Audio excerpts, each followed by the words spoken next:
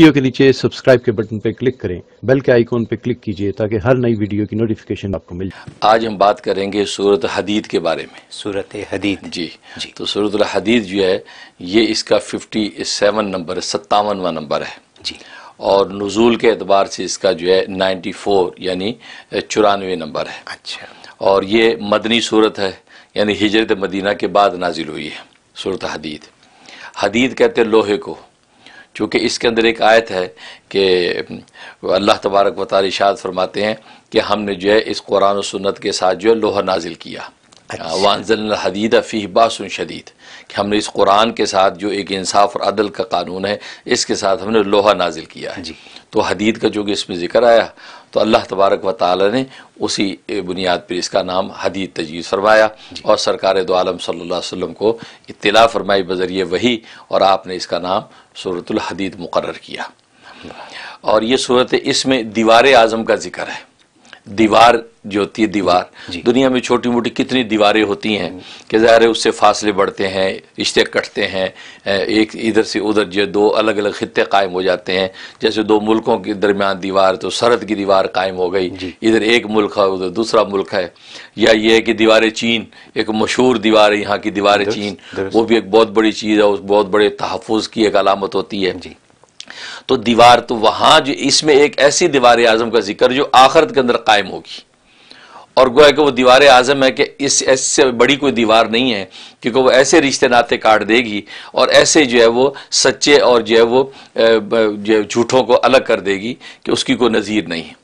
اور وہ ہوگا یہ کہ جیسے خود اس سورہ حدید میں بتایا کہ نبی پاک صلی اللہ علیہ وسلم کو خطاب کیا کہ اس دن تو دیکھے گا ایمان والے مردوں کو ایمان والی عورتوں کو کہ وہ میدان حشر میں جب چل رہے ہوں گے تو ان کے دائیں اور ان کے سامنے جو ہے نور کی روشنی ہوں گی۔ ان کے ایمان کا نور چمک رہا ہوگا اس نور کی چمک کے اندر وہ اپنی منزل کی طرف بڑھ رہے ہوں گے۔ ظاہر ہے کہ یہ ایمان جو اندر چھپا ہوا ہے یہ ایک نور ہے تو وہاں یہ بالکل ظاہر ہو جائے گا۔ وہاں آیا ہوگا عیا ہو جائے گا یہ نور۔ تو اس نور میں یہ جائیں گے کیونکہ ویسے اندھیرا ہوگا ہر طرف لیکن اس نور کے اندر چلتے چلے جا رہے ہوں گے تو یہ ان کی شان ہوگی۔ اور ان کے لیے ظاہر ہے کہ جنتوں کے دروازے کھلے ہوں گے ان کے لیے انعامات ہیں۔ جب منافقین ان کو دیکھیں گے کہ جنہوں نے دنیا میں اپنے کفر کو چھپا رکھا تھا ایمان کو ظاہر کر رکھا تھا تو وہاں پر ظاہر ہے کہ باطن ظاہر ہوگا۔ تو وہاں ان کا کفر کا اندھیرا ظاہر ہو جائے گا۔ وہ اندھیرے میں بھٹکیں گے۔ جب بھٹکیں گے اندھیرے میں تو ان کو راہ نہیں ملے گی چلنے کی کہ جانا کدھر ہے۔ تو جب ان اہل ایمان کو دیکھیں گے یار یہ اس نور کی روشنی میں جا رہے ہیں تو وہ دوڑ کر ان کو کہیں کہ ذرا رکو ہمیں بھی تمہاری روشنی سے کچھ استفادہ کرنے دو تاکہ ہم بھی راہ چل سکیں۔ کیونکہ ہمیں نظر کچھ نہیں آ رہا۔ کیونکہ جو دنیا میں ظاہر کیا تھا وہ وہاں پر باطن بن جائے گا ظاہر اندر کا کفر۔ اب وہ اندھیرے میں جب بھٹکیں گے تو ان سے نور مانگیں گے۔ کہ نقت اس نورا، ہم تمہارے نور سے کوئی فائدہ اٹھا رہے رکو۔ اب ان کے پیچھے پیچھے چلنے لگیں گے وہ۔ تو اچانک ان کے درمیان میں ایک دیوار کھڑی ہو جائے گی۔ وہ دیوار کھڑی ہو جائے گی اور وہ دیوار اس بات کی علامت ہے کہ نہیں تم اس نور کے مستحق نہیں ہو۔ تم نے دنیا کے اندر جو فراڈ کیا ہے کہ بظاہر ایمان کیا اور اندر کفر کا اندھیرا ہے۔ آج تم اپنے کفر کے اندھیرے میں ہی بھٹکو گے تم ایمان والوں کے اس نور سے استفادہ نہیں کر سکتے۔ یہ ہے اصل یہ۔ وہ سوری لہو کہ وہ ایک سور جو ہے دیوار کو سور کہتے ہیں۔ تو وہ ایک دیوار درمیان میں فرشتے کھڑے کر دیں گے اور کو پیچھے دھکیل دیں گے کہا کہ نہیں اس دیوار کی کا مقصد یہ کہ اب اس نور سے تم استفادہ نہ کر سکو۔ کو دنیا میں تو تم کرتے رہے، کیونکہ اللہ نے ہر چیز پردہ خفا میں رکھی ہے۔ یہاں تم ایمان والوں کے ساتھ مل کے اپنا کام چلاتے رہے۔ اللہ نے تمہیں یہاں کوئی دیوار قائم نہیں کی یہاں تمہیں موقع دیا کہ مرتے دم تک تمہیں مہلت ہے کہ تم توبہ کر لو اور اندر کے نفاق کو جو ہے اس سے توبہ طائب ہو جاؤ۔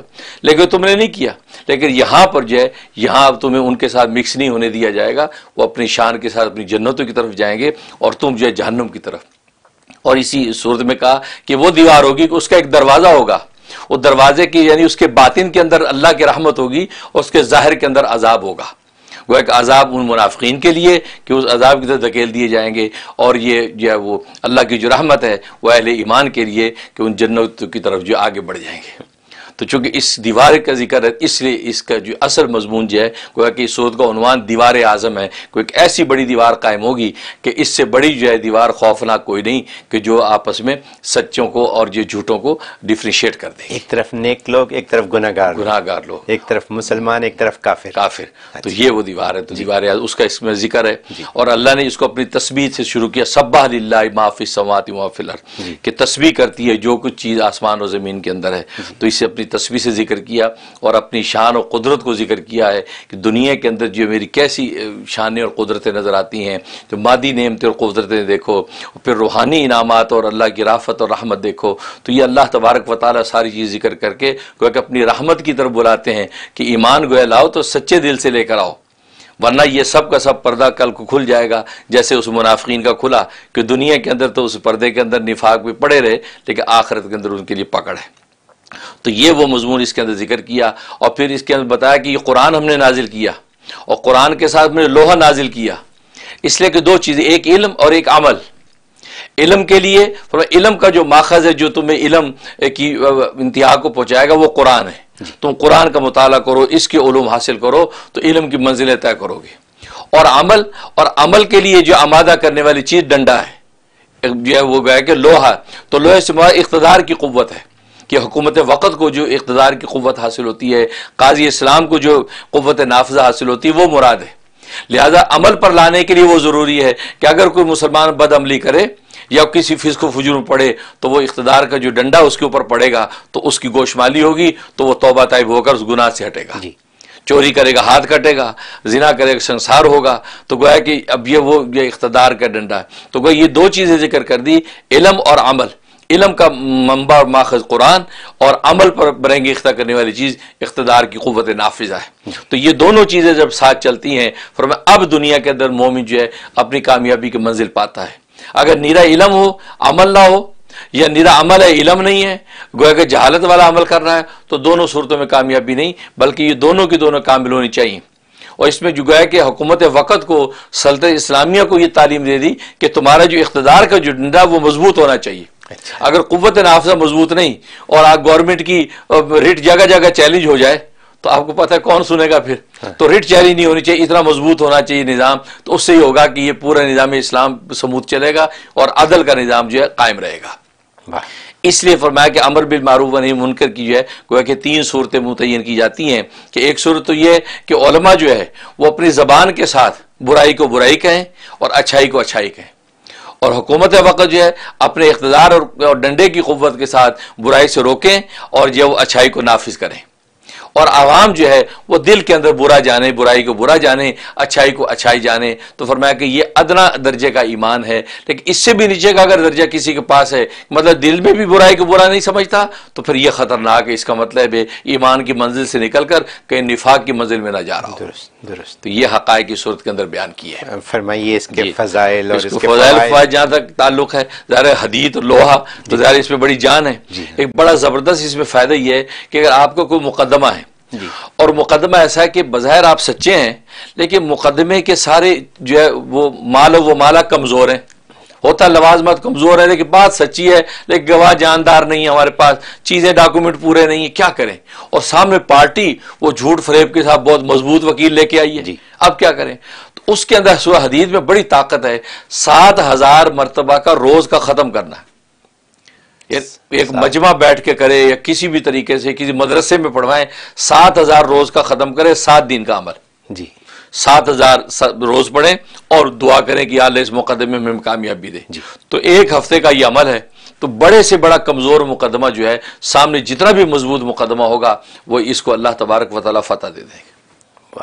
اور آج عدالت کی دنیا آپ جانتے ہیں یہ چیزیں پیش آتی ہیں۔ یہ تو یہ ہاں۔ تو مطلب جیسے قومی لیول کے اوپر بھی بالکل قومی لیول پہ بھی ہو سکتا ہے کیا جا کرنا چاہیے ہاں۔ کشمیر حاصل کرنے کے لیے پڑھیں ہاں، پاکستان گورنمنٹ اس کو تجویز کرے کہ سات ہزار کا ختم مدرسوں میں لگوا دیں پاکستان کا مقدمہ ہے مقدمہ بہت بڑا جی۔ تو اللہ تعالیٰ کیسے احوال بنائیں گے تو انسان دیکھتا رہ جائے گا کہ اللہ اس کو شکست کو کیسے فتح میں بدلتے ہیں جی۔ یہ اس کے اندر بڑی طاقت ہے جی۔ اور دوسرا اس میں کہ اگر آپ کو کوئی کام اٹک گیا رک گیا بڑا مشکل کام ہے اور ظاہری اسباب سے بھی ہوتا نظر نہیں آتا اور رک بھی گیا چلتا نہیں آگے۔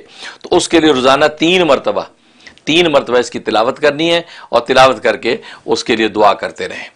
اور یہ جو ہے ٹوینٹی ون ڈیز کرنا ہوگا انشاءاللہ اکیس دن کے اندر اللہ تبارک و تعالی وہ کام آسانی سے پورا کرا دیں گے۔ اور ایک فائدہ اس کا یہ ہے کہ بیمار ہے کوئی اس کی جی۔ بیماری لا علاج بیماری ہے۔ ڈاکٹر نے جواب دے دیا اور سمجھ میں نہیں کچھ آ رہا۔ تو سات مرتبہ روزانہ اس کی تلاوت کریں۔ اور پانی دم کر کے مریض کو پلاتے رہے اگر پلا سکتے ہیں، ورنہ اس کے لیے دعا کرتے رہے اس کے اوپر دم کرتے رہے۔ یہ جو ہے، یہ فورٹی ون ڈیز کی نیت سے شروع کر لیں۔ جیسی بھی لا علاج بیماری ہوگی، اللہ تبارک و تعالی بیماری نکال دیں گے اور اس کو گویا کہ لو لاٹ قسم کی صحت عطا فرما دیں گے۔ تو اس کے اندر یہ بڑی طاقت ہے۔ تو تو حضرت اس میں تو ایک بات یہ ہے کہ اعتقاد بھی ضروری ہے۔ بالکل وہ تو بنیاد ہے۔ جو لوگ سات دفعہ ایک دن میں پڑھیں اور اکتالیس دن تک پڑھیں جی، بالکل۔ تو جب تک اس اعتقاد سے نہ پڑھیں کہ یہ واقعی ان کے مسئلے کا حل ہے حل ہے۔ تو پھر مسئلے کو حل ہونے میں بھی مشکلات مشکل بالکل ہوتی ہیں فطری بات ہے۔ بھائی وہ اتنا اعتقاد رکھیں جیسے روٹی کھاؤں گی تو بھوک مٹ جائے گی۔ جی ہاں۔ سوچ پانی پیوں گا پیاس مٹ جائے گی اتنا اعتقاد ہی رکھ لیں۔ جیسے ہم جانتے ہیں اللہ موجود ہے ہمیں۔ پتہ ہے ہاں، اعتقاد کی بات ہے۔ بالکل۔ تو تو تو اس سے اس اعتقاد کی قوت سے جی۔ ظاہر ہے کہ انسان کے پڑھنے کے اندر طاقت پیدا ہو جائے گی۔ جی، تو یہ جناب وہ اللہ تبارک تعالیٰ اس مرض کو دور کر دیں گے۔ میں بھول گیا۔ کتنی لمبی صورت ہے یہ؟ یہ انتیس آیتیں 29 بڑی۔ نہیں ہیں۔ بڑی۔ ٹوئنٹی نائن آیتیں ہیں جی۔ اور اس کے اندر بڑی آسانی سے سات مرتبہ پڑھی جا سکتی۔ جی جی تو بالکل یہ اس کے لیے۔ اور جہاں تک خواب میں تعبیر کا تعلق ہے ابو بکر صدیق رضی اللہ تعالیٰ فرماتے ہیں اور امام جعفر صادق رحمۃ اللہ علیہ فرماتے ہیں کہ خواب میں اگر کسی نے اس کو پڑھا یا سنا اس کا مطلب ہے کہ اللہ تبارک و تعالیٰ اس کو بھلائیاں اور خیر دنیا کی عطا کریں گے اور اس کو جو ہے وہ آخرت میں اللہ تبارک و تعالیٰ اہل ایمان کا نور عطا کریں گے۔ جس نور کا ذکر ہے جی۔ کہ یہ نور آخر میں اس کو نصیب ہوگا اور دنیا کی نعمتیں اس کے لیے عام ہو جائیں گی۔ جی۔ یہ فرمایا۔ اور دوسرا مطلب یہ ہے کہ اگر اس کی پڑھائی اور سنا اس کا مطلب اس کو اللہ تعالیٰ صحت عطا فرمائیں گے۔ اگر بیمار ہے تو صحت مند ہو جائے گا اگر صحت مند ہے تو بیمار نہیں ہوگا۔ جی۔ یعنی اللہ اس کو ایسی صحت دے دیں گے لو لاٹ صحت تو گویا کہ حدید ہے تو گویا کہ قوی صحت اللہ اس کو عطا فرما دیں گے۔ جی۔ اور ایک اس کا مطلب یہ ہے کہ یہ دنیا کے اندر جو ہے اللہ تبارک و تعالیٰ اس کے کوئی بھی ایسے کام جو مشکل کام ہے یا کوئی اس کے دشمن ہے جو اس پہ حاوی ہیں جی۔ اللہ ان دشمنوں کو مغلوب کر دیں گے اور ان کو دشمنوں کے اوپر غلبہ دے دیں گے۔ جی۔ گویا کہ یہ بشارت ہے خواب کے اندر۔ واہ واہ سبحان اللہ۔